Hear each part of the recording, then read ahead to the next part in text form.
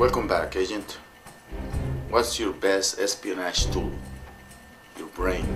You must train your brain to ask questions, to decipher codes, to understand formulas. You must learn foreign languages. The fat lady skateboards at dawn. Au matin, la dame grosse fait la planche de rouler. La gorda patina al amanecer. And you must remember detailed intelligence. It was a rainy night. The car was a blue Volkswagen. She was wearing sweatpants. Her perfume was Chanel. Her suitcase was red with three locks. She whispered to a waiter. He had a mustache. She had a mustache. She stole the butter knife she sleeps with a teddy bear.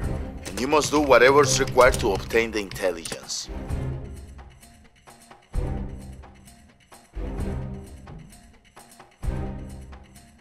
Good night, Mr. Teddy.